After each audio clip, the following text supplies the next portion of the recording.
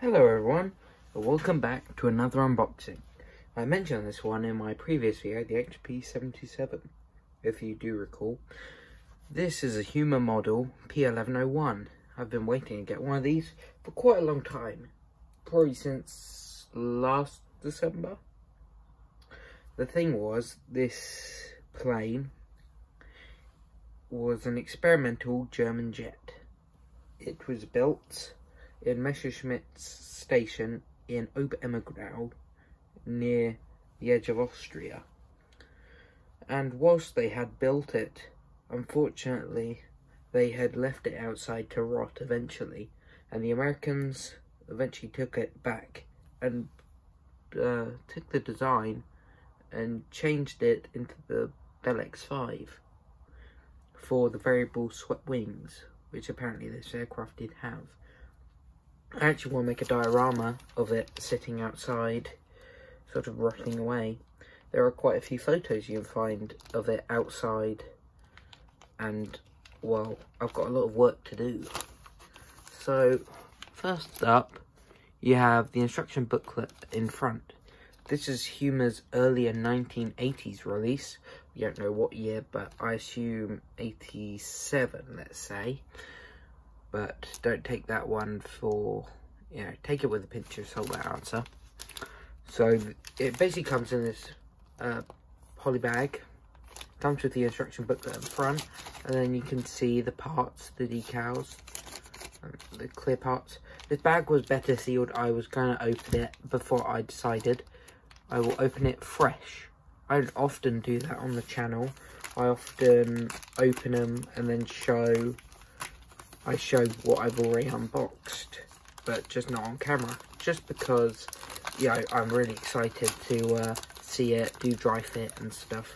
But sometimes when I want to make these videos, I'm really, I have to be really hesitant on whether I do it or not. So, so what do we get? We get a small clear part, just one bit because the decals, often they are quite thick. I'm not sure about this time. You probably have to use a lot of setting solution. And then we have the one sprue of parts with alternate tails, which is quite odd since Huma actually never used this tail part. We'll cover all of that in a minute.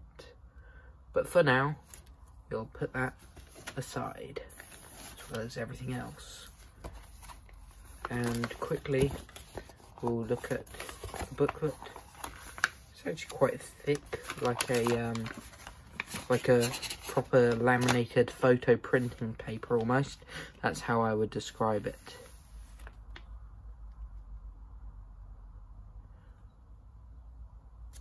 It's actually quite interesting. They give they give a what if scheme, which I didn't know they did. But we'll come back to this later. I've not actually seen the instructions yet, but it will be quite interesting to look at. Right here, we have pieces. I will zoom in.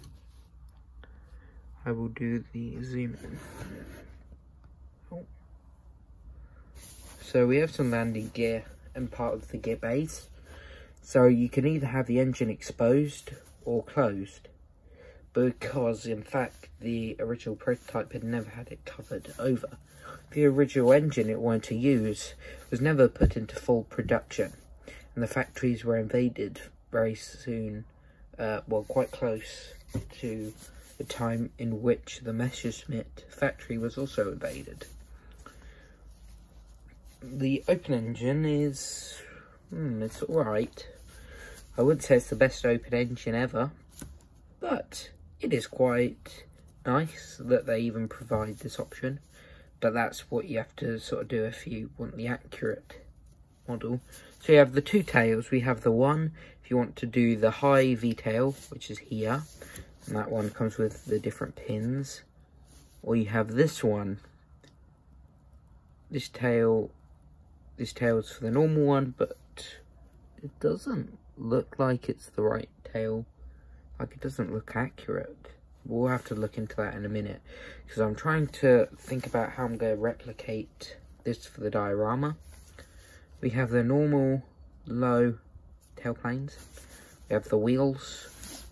And what seems to be this sort of pin up here, which looks like it'll also be part of the engine. We have, I think there's a yoke. I wasn't sure what it was at first.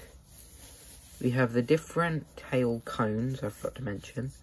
So we have these ones for the normal, the normal tail planes. We have this one if you're doing the high V tail. We have these struts, which are basically to hold hold the the fuselage up internally. These are shown when the engine is exposed. Oh wait, no, that might be the yoke. Oh, I'm not sure what that other bit is. Have a look at the instructions. I'll zoom a bit out. Well, actually no, if it's on camera. So we have the main fuselage parts, and then over here you have the covers for the engines. But if you're doing the prototype version instead of the what if version, you will want these off as the actual prototype never seemed to have had them on. Over on the other side, very similar, and if you can't see, but I think you can, those panel lines are really odd, like vac form levels of bad. So you might want to fill those in, rescribe them, but in fact, as Harry Houdini models pointed out, planes don't often have panel lines. So in fact, most of those people who are really worried about the panel lines, just remember that in fact, you technically are making them quite inaccurate. It's just a stylistic thing, I understand, but you know, that that's not really an accurate, realistic thing to depict on your plane. So we have this landing gear bit, which I'm going to have to modify, since the, when it was abandoned, the wheel was missing. We have another strut internally, and this is for the air intake, I believe, in front. We have a control panel. We have the floor piece, a chair, and a pilot. I totally forget that Huma kits include a pilot. I built their Triebflügel, but I want to keep building Huma's the 46 kits. Really charming, really rare. Um, well, I mean they're rare because they pop up they don't pop up very often in the UK at least.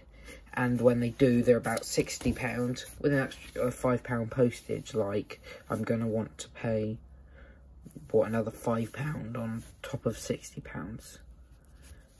Internally, there's not really too many parts to hold it, uh, to hold up the, the any bulkheads or anything.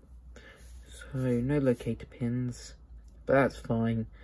I think if you're even, you know, if you've done any old kit or any kit that isn't Airfix or Revell, you probably can uh, do without locator pins. It's not the end of the world, unless it's the wing, or the tail mostly. So, wow, loads of ejector pins, absolutely massive. I mean, it's not too bad, really. Um, well, it's bad in detail, but at least they're providing bits instead of asking you to make them like a vac form or something else. Like, just a really bad kit. I just, I think it's nice, quite charming, but I'm never really that harsh on model kits. So sometimes I try and speak from both perspectives, both mine and what a general modeler might think. So if I do say, oh, it doesn't look the best, and then I actually say it doesn't look too bad, it's mainly because I'm trying to say from two different angles. So we have this bulkhead where the engine will go, and I don't know where this goes. We'll have to look at the instructions. And then there are the wheels. I can't remember if I mentioned those and there are some pedals and part of the air intake I believe again. We have these decals. We have the MEP1101 V1 decals, which are the ones I'll need to use for the abandoned one, as that's what they used. we have these six black crosses. But actually the iron crosses were never actually black on the real prototype. Well, on the abandoned one, they were actually white on top. And that was the only ones they had.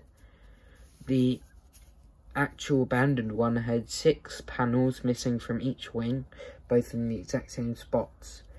But unfortunately, I just realised that there's not a top and a bottom wing half. So in fact, I'm not sure how I'm going to replicate that.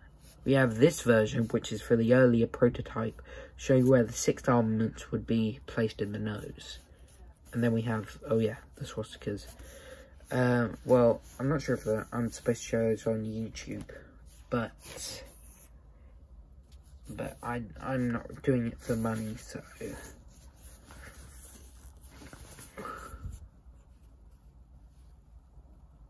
The canopy is actually quite nice. You can see those um those lines on it.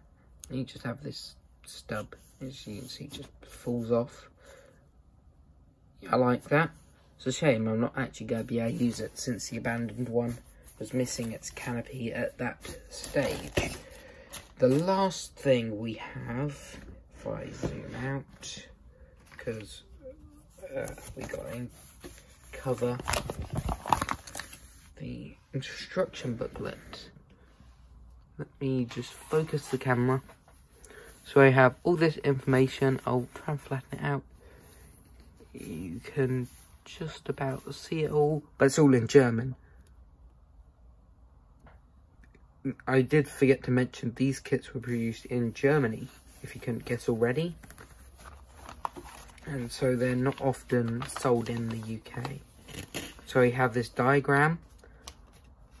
That's quite cool. That actually is quite helpful since I'm probably gonna, well I wanted a 172nd scale diagram to plan out the colours and things that is really helpful for what I'm to do. And starting from the top, this, this instruction booklet is big, so I probably can't fit it all in, so I'm sorry about that. We have the MEP 1101, which is really, this is inaccurate, sort of. Because they don't show the panels being missing. But one of the main things is that the early MEP 1101 V1 decals, uh, earlier it was painted silver, just like this one, but then they did change it later and paint on a smooth camouflage just on the top of the wings. Well, at least that's what it looks like. They did. So, we also have these Luft 46 schemes, which are be splinter camouflage. I'm guessing light grey and yeah, light grey, dark grey. Well, let me zoom in.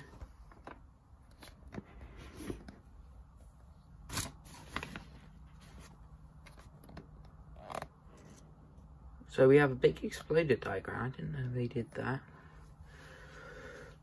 As you can see, that's the sort of engine setup. The cockpit's really basic. I mean, it's not too bad. They show you the different variety of tail bits, but I can assume that these instructions could be confusing to most people. They show some landing gear bits. They show the engine being fully assembled as well. And that seems to be it. I'm not sure about weight in the nose. The prototypes never actually had enough weight in the nose, in fact, funnily enough. And so, if I, if I show you this photo, they're having to prop it up. So, I'm not sure how much weight, but it, actually, if you want an accurate kit, you wouldn't actually put any in. That's just a sprue map, always nice to have, just to check if they're missing because with my Triebflügel, the canopy had fallen out, I don't know, in transit or something, but it was missing. So I ended up having to use an old ME262 canopy and sort of modify it from there. We have some instructions, which I think they're partially in English. Yeah, they are. So they tell you what those circles on the instructions mean, and they give you an Heinkel HES 011 engine, which is what they used in the earlier versions, and they basically just give you that so you can roughly work out how to paint it. So, what do I think? I personally think that it looks like it looks like fun. You know, it doesn't look like the best kit. Um, uh, as of me making this only about a few days ago, RS models showed off their new 1 to 48 Luft 46 version.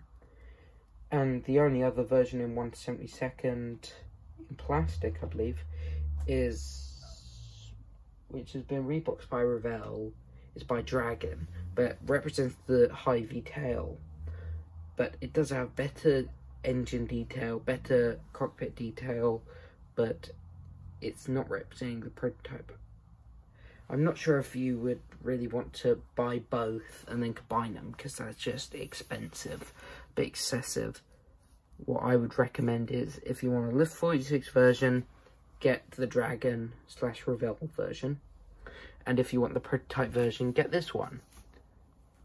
There's a resin 1 to 30 second scale kit, which would be cool to make a massive version of that diorama. I'll probably do regular updates on the diorama. I always say I'm going to make videos on these projects, but even the XP77 I never end up making any videos on. So, yeah, whatever happens, you either see it or you don't. That was the unboxing of the P1101. So I'll see you in the next video, which could quite possibly be the next week or two. So I'll see you then.